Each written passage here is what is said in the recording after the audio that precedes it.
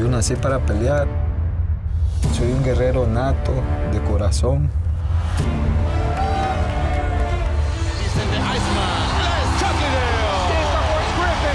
Estoy hecho para esto.